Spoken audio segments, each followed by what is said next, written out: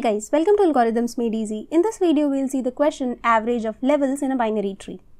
Given a non-empty binary tree, we need to return the average value of the nodes on each level in the form of an array. In this particular example, the average value of the nodes on level 0 is 3, on level 1 is 14.5 that is the sum of these two divided by the number of nodes that is 2 and on the second level the average is 11 that is sum of these nodes by the number of nodes.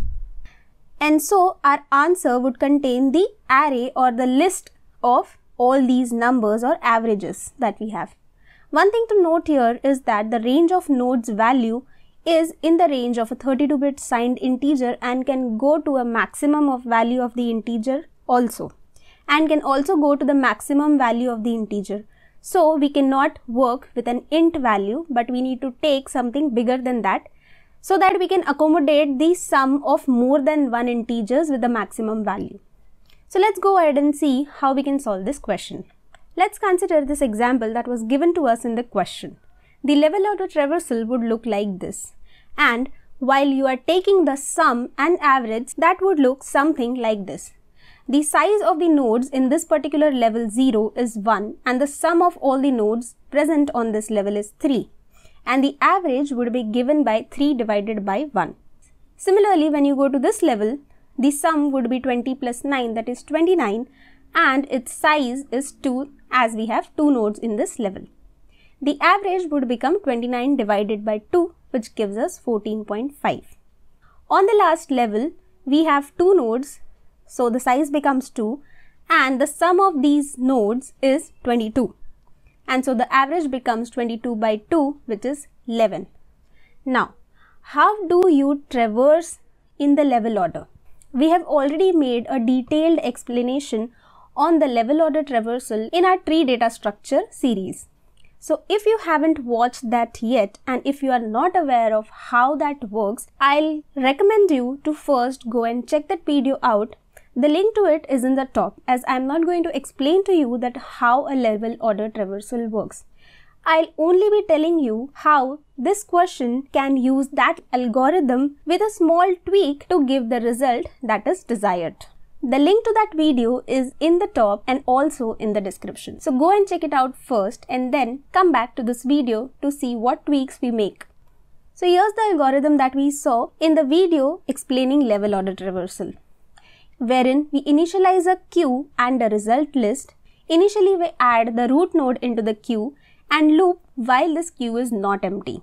Then, inside that while loop, we take a temporary variable for storing the size that would contain the number of nodes that are there in that level. And so that temp size would be equal to the number of nodes that are present in the queue at that particular time and then we loop for that particular size of the current level and then try to dequeue an element or a node each time and add that value in the result list to show the level order traversal. After doing that, we add its left and right to the queue for the next iteration and decrement the size of that particular level elements. Finally, we can return the list.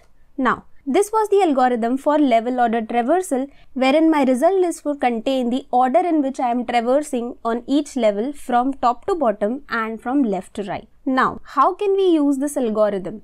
A small change as we can see in the yellow would be made in the previous algorithm so as it works for this question. So since we need the average, we need to find the sum. So we initialize a variable sum and Instead of adding the current value to result, we'll add that value in our sum variable. And instead of a while loop, here I'm using a for loop for the temp size that we have found that is the size of the nodes in the current level. When we come out of this inner for loop, we'll have sum and the size with us and we can calculate the average by the formula sum divided by temp size and then we add this average in our result list and finally we return this result list. So this small change in the level order traversal algorithm would make it acceptable for our current situation. So let's go ahead and write the code for this algorithm.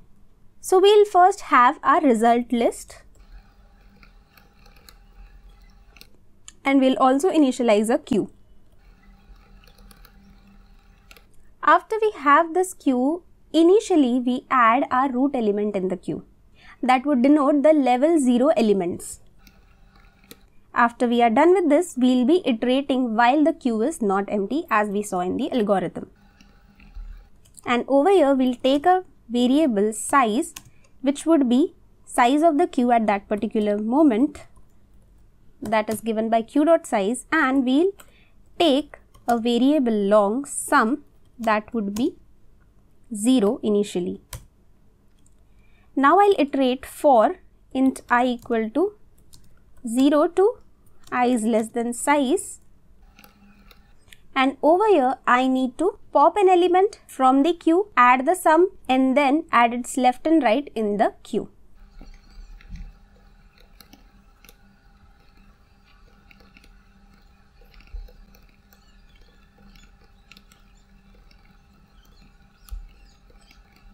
When I come out of this loop, I need to add the average in my result.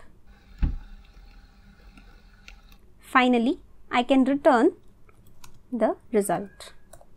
And that's it. Let's run this code.